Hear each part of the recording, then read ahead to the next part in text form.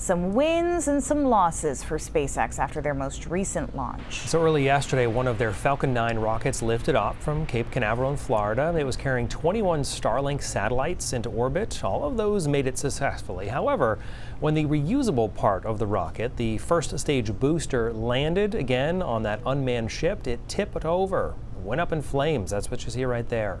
SpaceX says they are going to review data from the flight. The Federal Aviation Administration has now grounded all of the company's Falcon 9 rockets. They are ordering an investigation into what went wrong there. No one was injured, though, in that incident. It's unclear what exactly it will mean for a couple of SpaceX's upcoming manned missions. Earlier this week, the Polaris Dawn mission was canceled due to a helium leak. This is a private trip into space. It's scheduled to carry another New Englander past the Kármán line.